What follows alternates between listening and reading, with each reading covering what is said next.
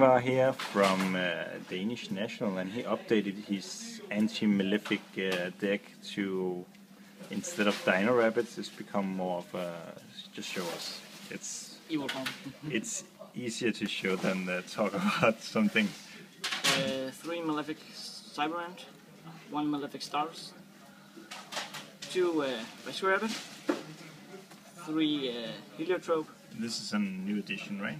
yes, three uh, Castor, uh, Olander, and Ketos, So this one guy destroys spell and traps, and the other guys destroy monsters, yes, and two Command my Necro, and they work because they tribute, so they work on the skill drain, right? yes, So it's an it's updated to an evil swarm instead of uh, dinosaur. yeah, uh, three uh, uh, one Pandemic, one Reinforcement, and double Mystical Space Two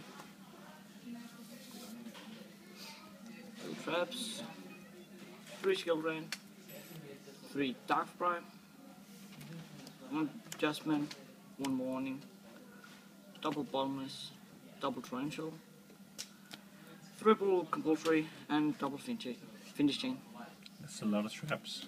Yeah. To the extra, three uh, Cyber End, two uh, Stardust, and Crazy Box, because I play Commandant. And even more eradicator targets. Yes. Not like you have enough.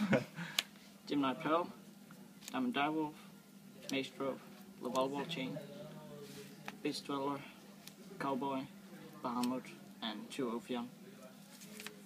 Seems good. Uh, to the side, two Electrovirus, one Mr. Space Tofu, three Deck Lockdown, three Imperial Wall, three Ghost Match, and three Eradicator. Okay. Thanks for the updated version.